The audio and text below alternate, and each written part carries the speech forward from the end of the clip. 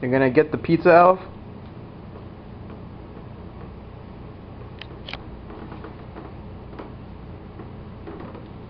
There's nothing in there. But that doesn't stop him.